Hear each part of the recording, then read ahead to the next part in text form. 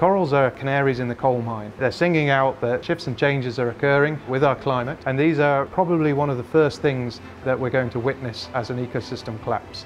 And then after that, it's going to be a knock-on effect, dominoes, and we'll see ecosystem after ecosystem falling. They're one of the most beautiful wonders of our world, like organic cities under the sea. Coral reefs provide a vital marine habitat for a huge range of species. And it's not just wildlife they support. Many human communities rely on them for a vital source of income, food, and protection from storms and rising sea levels. But this most mysterious of organisms is in big trouble. Corals across the world have been unable to evolve quickly enough to warming seas caused by climate change. And so the race is on to find creative solutions to protect and preserve these precious ecosystems.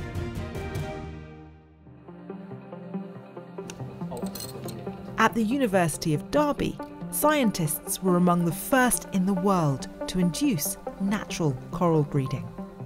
We're at the Aquatic Research Facility at the University of Derby and here we do undertake quite a lot of different types of research from corals to seagrass uh, but in particular we cracked coral spawning here. a very dark, warm. yeah, it's very dark. Space. So for, for the purpose here, I'm just going to add on a little bit of uh, sunrise. Oh, brilliant! So we can see um, what we're um, actually. So there at. we oh, go. Wow. We've got a little bit of uh, light. We can see there's so much in here. What's going on? So what we've done is we've actually flipped the environmental parameters. So that's why it was dark, even though it was light outside, because corals spawn usually around midnight, and we wanted to make them spawn in a more reasonable hour for us. So we've got various different species of coral here, from the uh, acroporids, uh, like this one, which uh, actually make up most of the reefs around the world, to the what's called the massive corals, uh, which are these ones here. So um, as you can see, each one of these is an individual polyp and they formulate a colony. Corals are not plants, but actually tiny invertebrate animals. They belong to a group of animals called Cnidaria, similar to jellyfish and sea anemones. Each individual coral animal is called a polyp, which come together to form colonies. Calcium carbonate secreted by the polyps forms a hard protective cup around each polyp.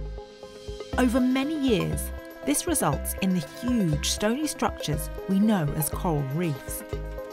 The individual polyps can produce asexually by budding a copy of themselves or by fragments that separate and float away to attach to another substrate. Or sexually, by releasing gametes, egg or sperm cells into the water column. These gametes come together to form larvae, which settle on the surface, starting the whole process again. Why do you have them in this really dark warm, controlled environment. So it's really vitally important to, to mimic uh, that on the environmental reef, so on the home reef where we get these corals in the first place. Once we control those conditions, we can actually phase shift the conditions to A, make them spawn during the day, which is why it was dark when you first walked in, but then also we can make them spawn whichever month we want them to, just by simply shifting all those environmental parameters, the temperature, the solar light, and also the lunar capabilities to actually induce that spawning. And it happens on a, a relatively tight uh, schedule, so it's usually four, four or five nights after the full moon, and it's predictable and you can almost set your watch to it.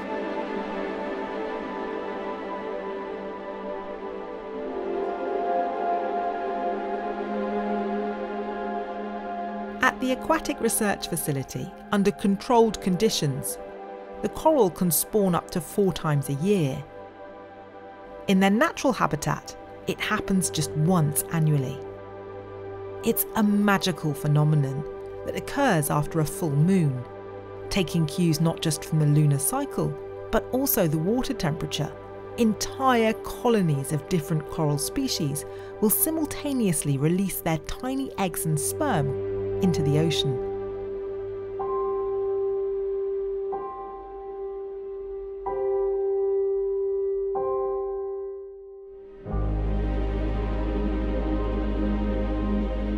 Colourful display cascades into the ocean like a blizzard.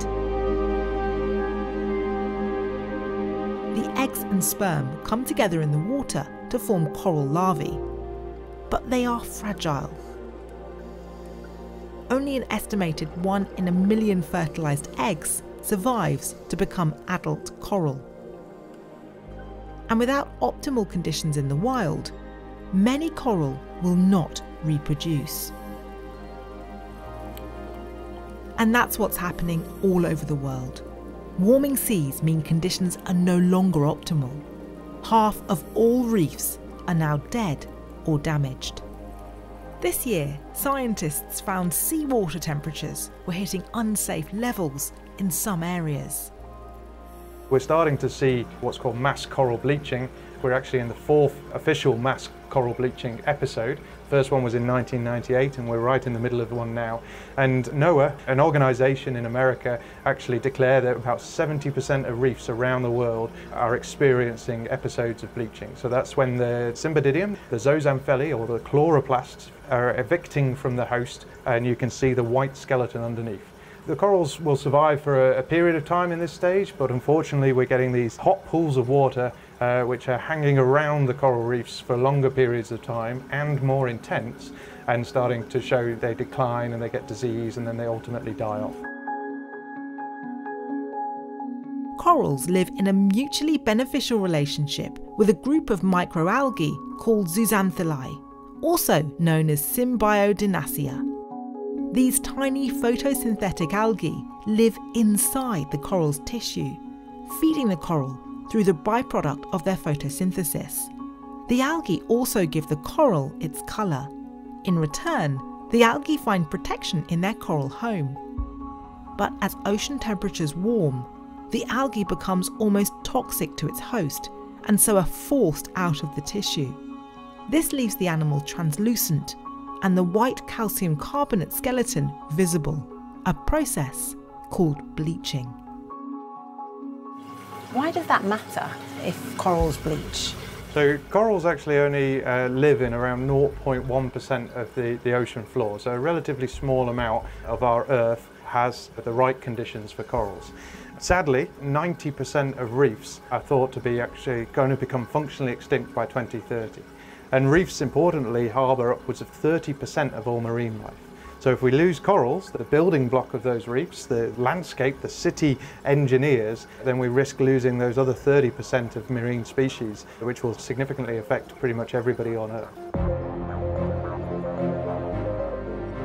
Despite occupying a tiny part of the ocean, coral is integral to its health. As well as their restoration efforts, the team here are also experimenting with ways to make the coral more resilient. What we try and do is we want to also harden these corals a little bit as well. So you can actually uh, thermo-acclimate them by putting them through a, a, stress event in advance. So simulating that what they're going to experience in the field in years to come.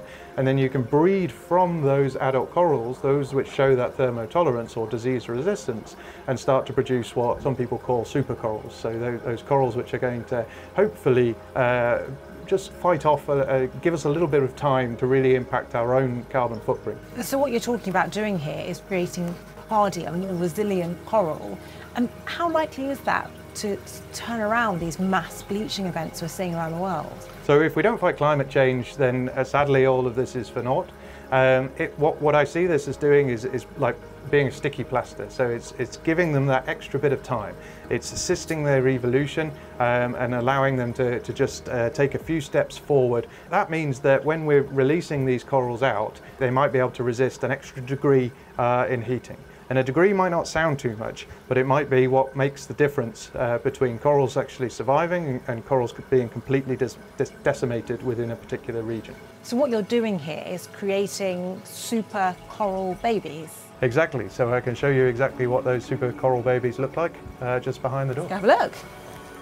Once they've spawned, we take them into this settlement stage. So here we have, uh, here, here's some we created earlier, so to speak.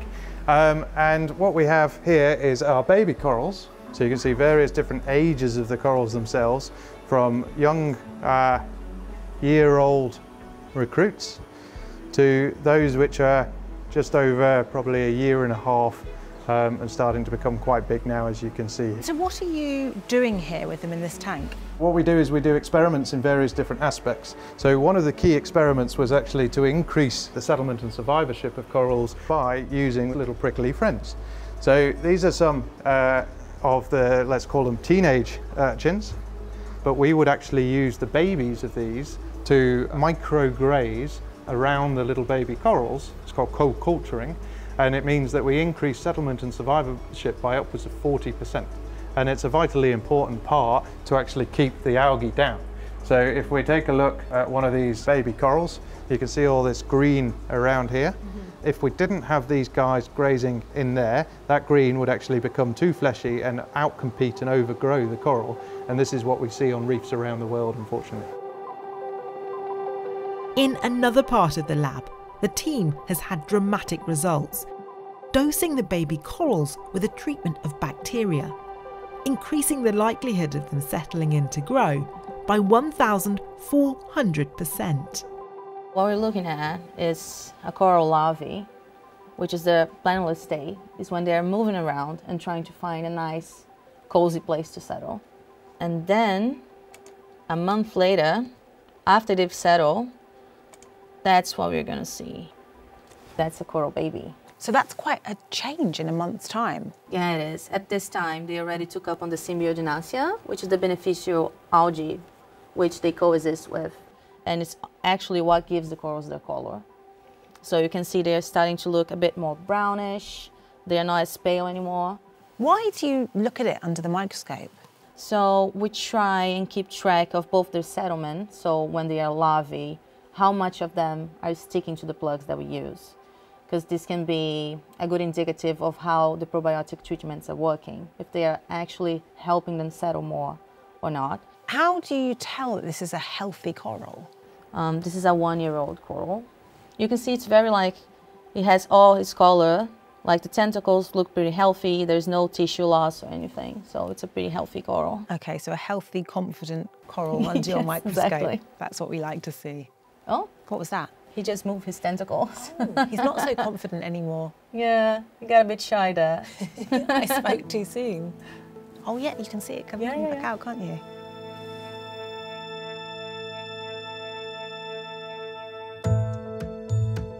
But these super coral babies aren't just for research.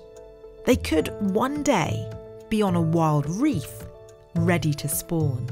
How does the um, baby coral that we can see here end up in the real world? What's the next step? Uh, we grow our, our, baby corals out in these uh, nurseries and then from there you can then put them directly onto the reef. And that means you can get the corals, like the acroporids, up to spawning size within three years. So it takes that sort of three year period before they're ready to spawn themselves and add to that natural population. Doing this work can't be cheap. How are you able to fund this? So these systems actually retail for about £40,000, so that is expensive. But the way we try and get these systems to the people who need them is through philanthropic donations. Other times we get research grants and that allows us to get these systems to places like Indonesia and Kenya. But then we're also really interested in, in highlighting that circular economy uh, concept so that people can either grow urchins, for example, and sell them in an aquaculture route, or also spawn from the more single polyped large stony corals they're called. So these are uh, rare species uh, which are again very valuable in the aquarium trade and you can sell uh, a percentage of those, so 30% to the aquarium trade, and make hundreds of thousands of pounds from one spawn, whilst the 70% goes back into the reef. So you're balancing that reef restoration with business. Despite their success and excitement around the work, Professor Sweet believes their solution is a temporary one that can only buy time for coral reefs around the world. What does a world without coral look like? Corals are as, sort of like canaries in the coal mine. Um, they're, they're, singing out that, that shifts and changes are occurring with our climate and these are probably one of the first things that we're going to witness as an ecosystem collapse. And then after that it's going to be a sort of knock-on effect, a dominoes if you will, and we'll see ecosystem after ecosystem falling. Coastal erosion is going to increase because they actually act as a wave break as well. And what we're realistically going to see is a mass emigration of people because they just can't sustain and live within those coastal environments. But it will impact everybody in various different connotations. But we really can make a difference, and I, and I do believe that, hence why we work tirelessly to do this. On its own, no one solution is sufficient to save the coral. The whole world has to change in order to prevent the oceans from warming further. But the University of Derby's work may hopefully provide one lifeline.